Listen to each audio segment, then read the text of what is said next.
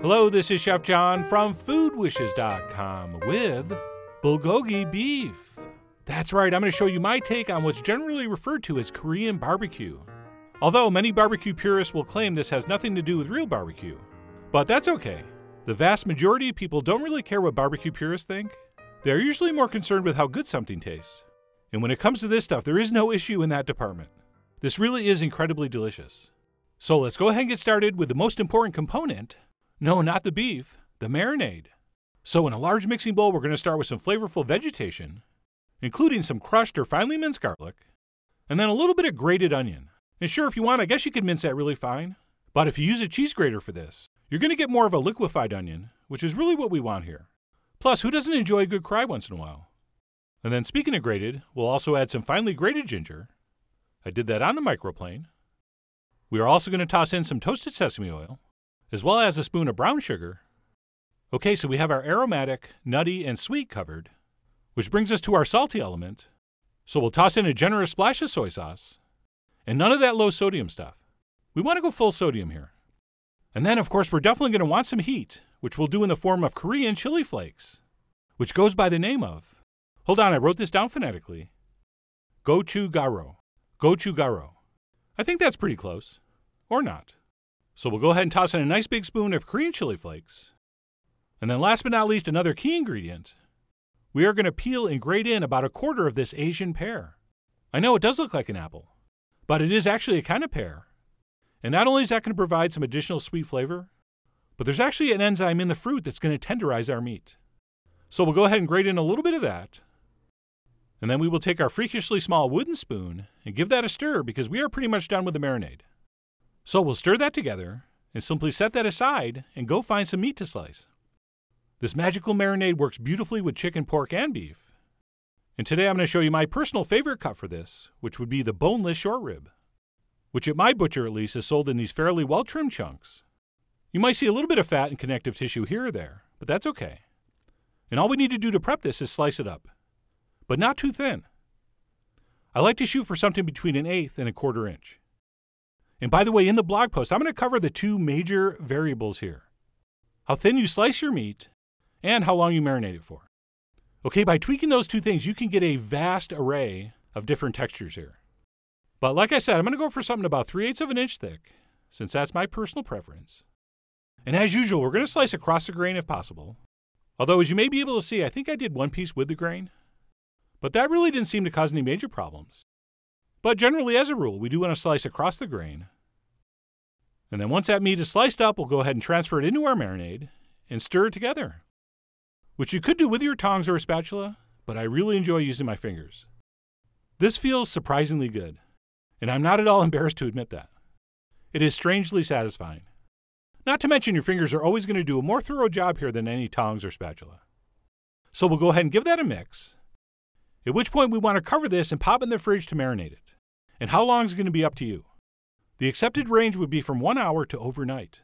But I never let mine go that long. I'm a one or two hour guy. And again, I'm going to go into that on the blog. But my preference is to wrap that up and pop it in the fridge for about an hour or two, at which point we're going to pull it out and prep it for the pan. And all that means is we're going to unwrap it and season it up with a little bit of salt. Some people will just add more soy in the beginning, but it's already a very wet marinade, so I do go with a little bit of salt at this point. And then to finish this up, we'll also add a little drizzle of vegetable oil, and we'll give that a quick toss with our tongs. And why not fingers this time? It's a good question. I got kind of tired of washing my hands. And once that's mixed up, we are ready to cook. And for me, the best choice is a smoking hot cast iron skillet that I'll brush with a little bit of oil. And we'll go ahead and transfer in our bulgogi beef into hopefully a single layer. If you're using more than a pound or so of beef, you want to do this in batches. And then what we'll do is cook this for about two or three minutes per side on the highest heat setting possible. And that's going to be it. And of course, that's an incredibly short cooking time for something that usually is braised for hours. But that is the magic of this marinade at work. We're going to get something tender and delicious in like five minutes. So, just one of the many reasons I love this recipe. And of course, because this is such a wet marinade, you're probably not going to get a super awesome sear on this. But that's fine. You'll see when we plate up, it's going to be gorgeous. And having said that, you will get some caramelization around the edges. But anyway, to recap, we're going to give that first side a couple minutes, and then we'll flip that meat over, and then we'll go ahead and give that side a couple minutes, And I always know I'm getting close when the moisture in the pan kind of evaporates and it starts to smoke again. And yes, a well ventilated kitchen with a fan is highly recommended. In fact, at the Korean restaurants where you do this tableside, they have a fan right over the table. But anyway, we're going to cook that for about five minutes total, at which point we can turn off our heat and pull that out of the pan and we'll serve that up immediately on some steamed rice, which is being featured in my traditional Korean style plate, which by the way is also my Japanese style plate, Chinese style plate, Vietnamese style plate, and I believe also Indian style plate. So as you longtime viewers know, that plate gets around. But anyway, I'm going to pile up a nice generous portion of our beef and then I'm going to finish up with some sliced green onions, as well as an extra touch of our Korean chili flakes, or as I attempted to pronounce earlier, gochujang. And then if you want, you could also top with some sesame seeds, but I was out. But of course, that's up to you. You are the young MC of your bulgogi. And speaking of bust a move, one move I didn't bust was to pick up some kimchi at the store, which is pretty much mandatory on this plate. So I tried to Photoshop some in. But you know what? That was just not the same. So I was forced to serve this as is. And yes, I do like to give my guests a choice of chopsticks or a fork. Mostly so my guests using the fork can be shamed by the people using the chopsticks. It's all in good fun. So let me go ahead and grab the aforementioned sticks and go in for a taste. And that really is every bit as incredibly delicious as it looks. I mean, that marinade really is borderline magical. I mean, forget borderline, it's magical. To transform something as tough and chewy as beef short rib with just one hour of marination into something this tender and delicious, I think is pretty impressive. And something else that would be impressive is if I could get the rice and the meat in the same bite. I've really not perfected that move yet, but hey, I'm only 53. There's still plenty of time. Oh, and by the way, not that it needs it, but if you did want to splash a little water in there and deglaze that pan, you could serve this with some of those caramelized drippings. That's usually never a bad thing.